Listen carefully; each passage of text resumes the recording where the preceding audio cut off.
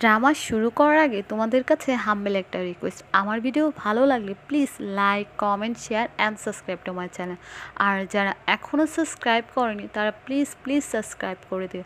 চলো, দেরি না করে ড্রামাটি শুরু করা যাক। প্রথমে দেখি গড়িয়ার স্ট্রাগল লাইফ ও ওর ফ্যামিলির জন্য কি কি করছে? ওর ফ্যামিলিকে ও সব কাজে সাপোর্ট করতে থাকে। আর গড়িয়া কাজ করতে করতে ও ক্লান্ত হয়ে পড়ে। গড়িয়ার ড্যাড গড়িয়ার প্রশংসা করতে থাকে যে ও আজকে অনেক ভালো কাজ করেছে। গড়িয়া বলে, আমাদের টাকার দরকার। আমি ভাবছি আমি প্রন শপ চালাবো। ওর মা বলে, না, আমাদের কাছে এত টাকা ইনাফ নেই, সব খোলার জন্য।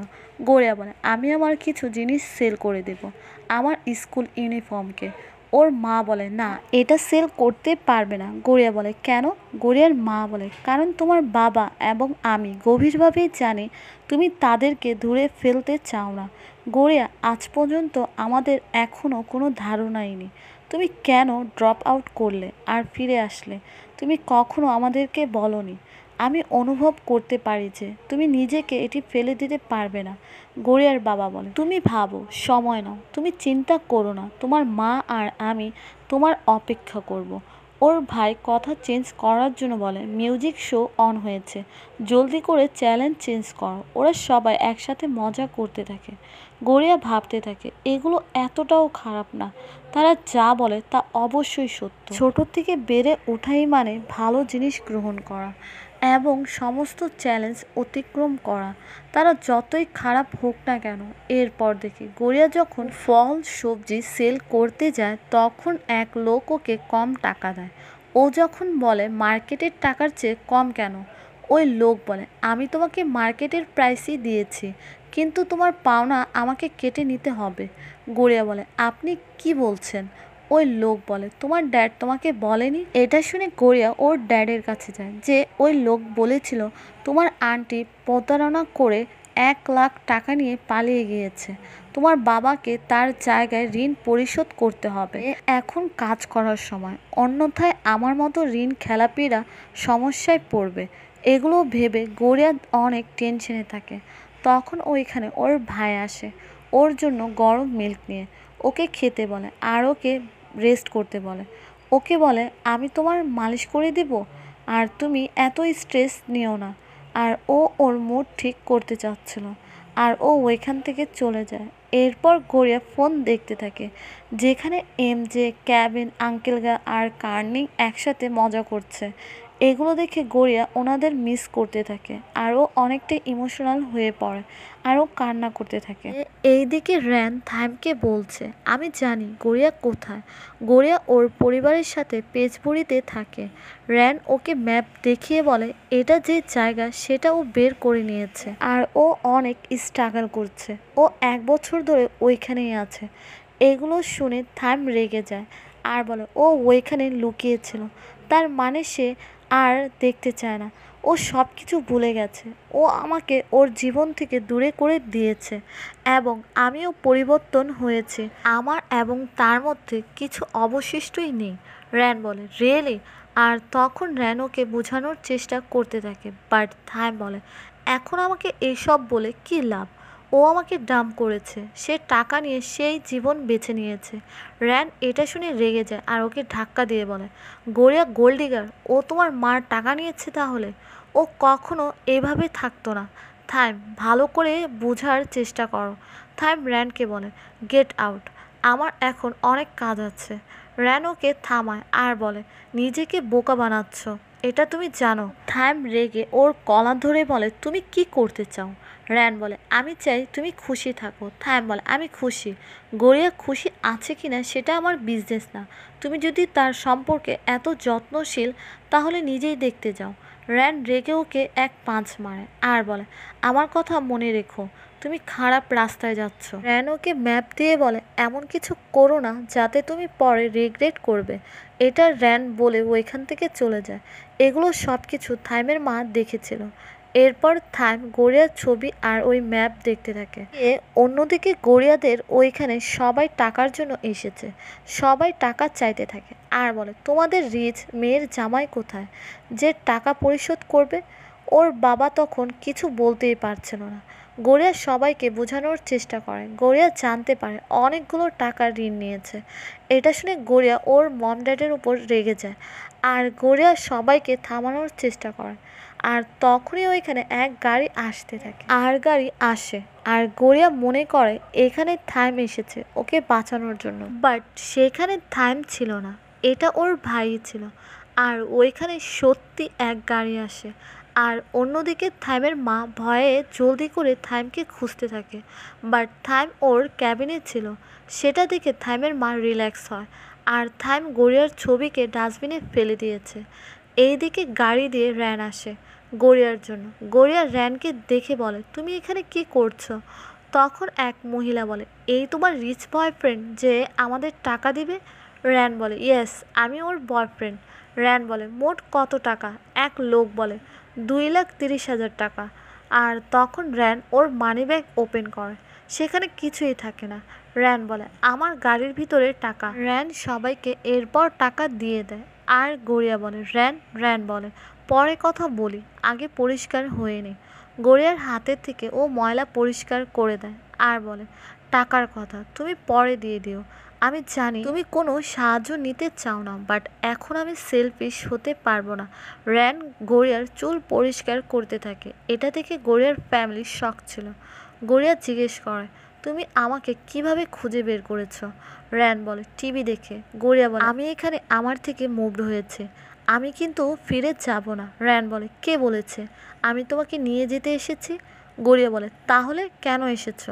র্যান বলে, ইয়ামি ফুড সাউন্ড গুড। গড়িয়ার ড্যাড বলে, খাবার। এরপর দেখি র্যান গড়িয়ার ফ্যামিলির সাথে কথা বলতে থাকে আর গড়িয়া র্যানের জন্য নুডলস তৈরি করতে থাকে। ওকে বানিয়ে দেয় আর র্যান দেখে বলে, এটা অনেক ডিলিশিয়াস হবে। গড়িয়ার মম ড্যাড ওদেরকে প্রাইভেসি দেওয়ার জন্য ওইখান থেকে চলে যায়। গড়িয়াও যাচ্ছিল। র্যান ওকে থামিয়ে নেয় আর বলে, আমি কি এখানে থাকতে পারব? গড়িয়া বলে হ্যাঁ থাকতে পারো। অন্যদিকে পারামান্তার গ্রুপের জন্য র্যালি বের হচ্ছে। যে ওরা যে প্রজেক্ট নিয়েছে সেটা রিমুভ করে দেওয়ার জন্য। এখানে এক লোক এসে থাইমের কাছে রিকোয়েস্ট করতে থাকে। ওর মা গার্ডের দাঁড়াতে বাইরে দিয়ে আসতে বলে। তখন ওই লোক থাইমের পা পড়ে বলে, প্লিজ, আমি ব্যাংক ক্রাপ হয়ে যাব। আমার কোম্পানি ডুবে যাবে। প্লিজ, এটা করো না। বাট থাইমের মা গার্ড দিয়ে ওকে ধাক্কা দিয়ে বের করে দেওয়ার কথা বলে। তখন ওই লোক রেগে বলে, আমি ছাড়বো না। আমি এটার বদলা নিয়েই নিব। থাইম তখন ওর মাকে বলতে থাকে যে, ওনাকে টাকা দিয়ে দেওয়ার জন্য। বাট ওর মা ওর কথা শুনতেই চায় না। আর বলে, তুমি সম্পর্ক আর ব্যবসাকে একত্র করতে চাচ্ছ, তাই না? তুমি আর কখনো তোমার ফ্রেন্ডদের সাথে দেখা করবে না। এটা বলে উনি ওইখান থেকে চলে যায়। এইদিকে র্যান কাপড় ওয়াশ করে আর গড়িয়ার ঘুম থেকে চিল্লাতে থাকে যে ও অনেক লেট হয়ে গেছে। মা, কেন আমাকে কেউ উঠায়নি ঘুম থেকে? গড়িয়া দেখে সবাই খাবার খাচ্ছে। গড়িয়া বলে, এগুলো কি? গড়িয়ার মা বলে, এগুলো র্যান তৈরি করেছে। গড়িয়া র্যানের কাছে যায়। আর বলে, তুমি কেন ট্রাভেল নিচ্ছ? র্যান বলে, আমি যদি বলি আমি তোমাকে ব্যাংকক নিয়ে যাব বাট এটা না, তাই এখানে কাজ করছি। গড়িয়া বলে, এটা হার্ড প্লেস এটা তোমার থাকার মতো জায়গা না। র্যান বলে, চলো, এক বেড লাগাই, যদি আমি এটা করতে পারি, আমি জিজ্ঞাসা করব, তা তোমাকে করতে হবে। গড়িয়া বলে, তুমি চাও আমি ব্যাংকক তোমার সাথে যাই? র্যান বলে, না। চলো, এটা দেখে গড়িয়ার মম ড্যাড হাসতে থাকে। এরপর র্যান গড়িয়ার সাথে বোটিং করে আর ফল নামানোর জন্য হেল্প করে। র্যান পানিতে নৌকাকে সরিয়ে দেয় আর ও বেচারা ওদের সাহায্য করতেই থাকে। তখন গড়িয়া বলে, এইখানে শেষ নয়। এগুলো তো মার্কেটে সেলও করতে হবে, সেটা আরও বেশি হার্ড হবে। গড়িয়া যখন মার্কেটে যায়, দেখে র্যান তো মেয়েরা ঘিরে রেখেছে, ছবি তুলছে আর ওর জিনিস নিচ্ছে।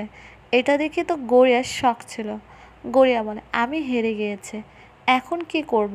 র্যান বলে, চলো, ডেটে যাই। র্যান ওদেরকে সমুদ্রতে নিয়ে আসে। আর গড়িয়ার ভাই তো দেখে অনেক খুশি হয়। এখানে গড়িয়ার র্যানের ওপর চিল্লাতে থাকে যে, আমরা বাচ্চা না, আমরা অ্যাডাল্ট হয়ে গেছি। র্যান ওকে কথার দাঁড়াতে পানিতে নিয়ে যেতে থাকে। আর গড়িয়ার ভাই ওকে এসে কুলে নিয়ে পানিতে ফেলে দেয়। ওরা একসাথে অনেক মজা করে। এখানে ওরা পানিতে অনেক এনজয়ও করতে থাকে। ওরা অনেক হাসতে থাকে। এরপর র্যান ছবি স্কেচ করতে থাকে। তখন ও এখানে র্যানের কাছে গড়িয়ার ভাই আসে আর বলে, ও যখন থেকে এখানে মুভড হয়েছে, তখন থেকে ও পুরো চেঞ্জ হয়ে গেছে। আর আমি ওর মুখে অনেক সময় ধরে এইভাবে হাসি দেখিনি। আর ওর টাকার জন্য স্কুল বন্ধ করে দিয়েছে। আমি চাই না ও এখানে থাকুক। অন্যদিকে দেখি থাইমের কাছে টিয়া আসে যে ওরা প্রজেক্টে কাজ করছে, সেটা মানুষের জন্য কতটা লস হতে পারে আর কি কি খারাপ হতে পারে। থাইমের মা টিয়াকে চুপ করাতে থাকে আর বলে, ব্যবসাতে এগুলো করতেই হয়। তুমি তো জানো থাইম, আমি পারামান্তা গ্রুপের জন্য কতটা ভালো চাইব। তোমার এক সাইনি এই ডিসাইড করবে, তুমি নিজেই ডিসাইড করো। অন্যদিকে গোড়ার যখন ঘরে যায়, দেখে ওইখানে র্যান নেই। র্যান তখন গড়িয়াকে কল করে আর গড়িয়া বলে, তুমি কোথায়? র্যান বলে, আমি মার্কেটে, তুমি এখানে আসো। ও গড়িয়া বলে, এখন? আর ওইখানে থাইম ওই ফাইল সাইন করে দিয়েছে। ওই সাইন করে ও বাইরে যাচ্ছিল, তখন কেউ এসে থাইমকে কিডন্যাপ করে নেয়। আর এদিকে গড়িয়া র্যানের কাছে আসে। র্যান বলে, আমি ভাবছি। র্যান বলে, আমি কিছু জিজ্ঞেস করব?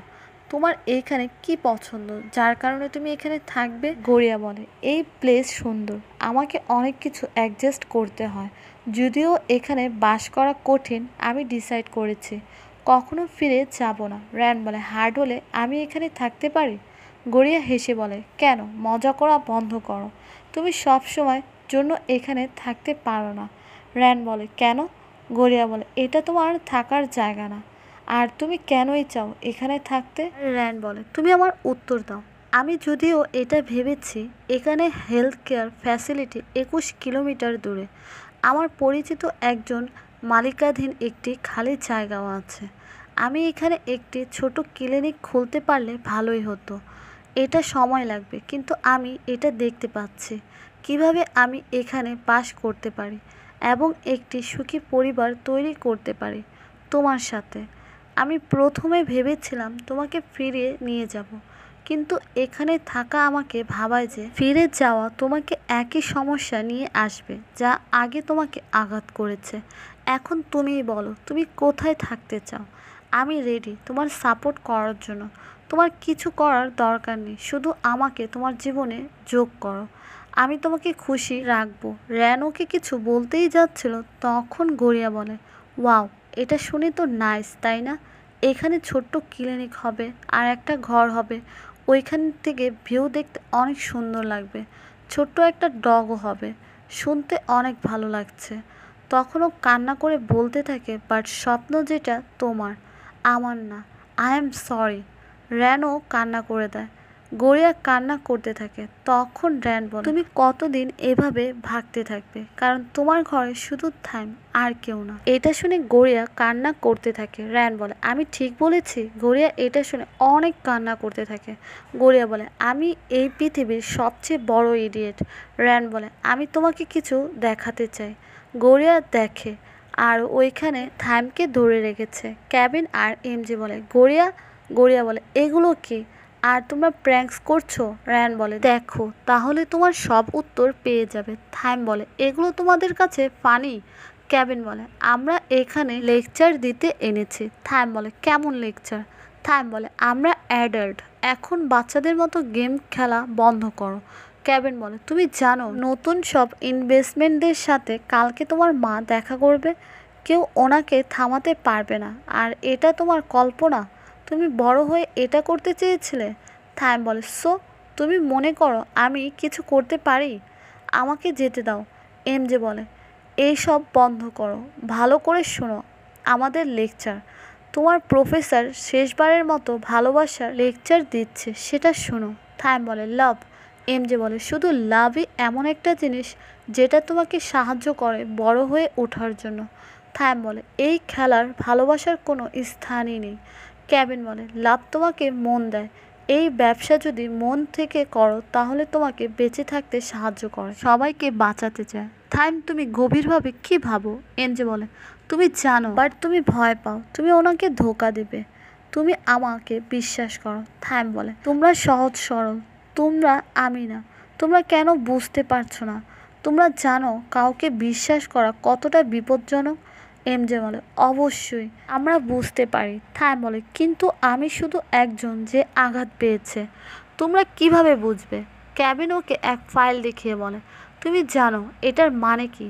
এমজে বলে, আমরা অ্যাফোর তোমার ধারণা যত ঝুঁকিপূর্ণ না কেন, এটি বুঝে নাও, আমরা তোমার সাপোর্ট করব, কারণ আমরা তোমাকে কতটাই ভালোবাসি। ক্যাবিন বলে থাইম তোমার ভালোবাসাকে বিশ্বাস করো। শুধু আমরাই নয় তোমার চারপাশে সবাই তোমাকে দেখবে। যেমন মীরা অথবা লিটা, তোমার মা যে পৃথিবী তৈরি করেন, আমরা এটা পরিবর্তন করতে পারি না। তোমরা এক ছোট মেয়ের কাছে সবাই ঋণী, যার নাম হচ্ছে গড়িয়া। সে পাগল, উল্লেখযোগ্য পরিবর্তন আছে।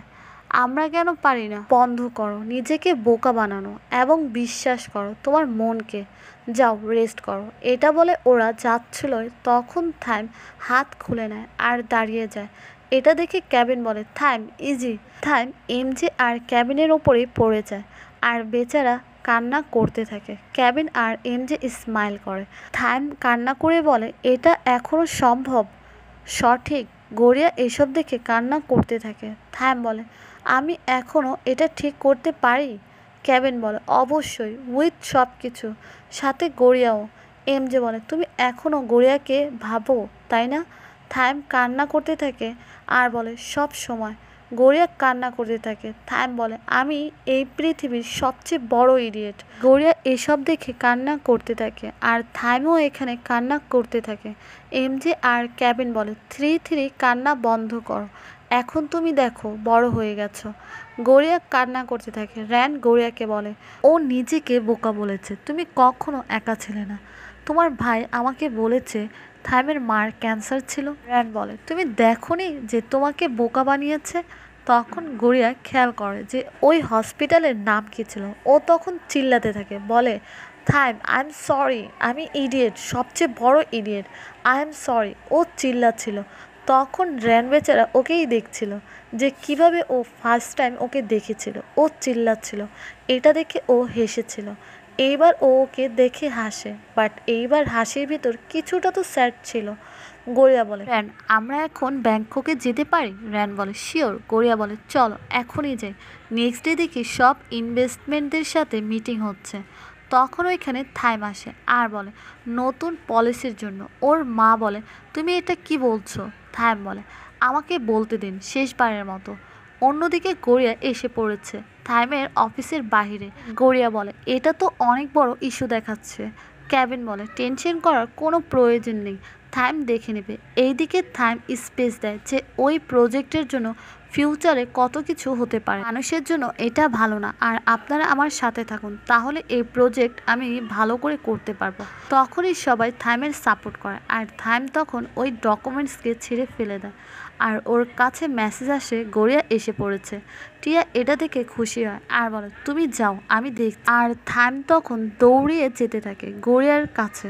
গড়িয়াও আসতে থাকে। থাইম যখন আসছিল, তখন এক লোকের সাথে ধাক্কা খায়। তখন থাইম মনে পড়ে যায়, বলেছিল, ছাড়বে না। আর এখানে থাইমের মা যাচ্ছিল, তখনই ওই লোক আসে আর ওনার ফেস দেখায় আর ছুরি বের করে আঘাত করার জন্য। বাট থাইম ওর মাকে ধাক্কা দিয়ে দেয় আর ওর ছুরির আঘাত খেয়ে যায়। এটা দেখে থাইমের মা শখ ছিল। থাইম নিচে পড়ে যায়। থাইমের মা চিল্লিয়ে ওঠে আর টিয়াও চিল্লাতে থাকে। তখনই ওইখানে অ্যাপরও এসে পড়ে। আর এটা দেখে গড়িয়া কান্না করে থাইমকে চিল্লাতে থাকে। আর এখানে আমাদের এই এপিসোড শেষ হয়ে যায়।